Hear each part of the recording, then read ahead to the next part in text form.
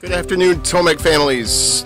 Craig Salter, principal here, wanting to remind you that tonight, Monday, September 25th, come join Superintendent Heidi Sosowski and myself here at the Tomek Cafeteria as we have a bond information night.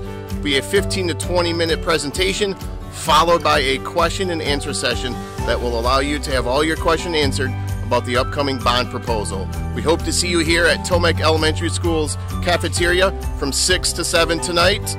And as always, go Tigers.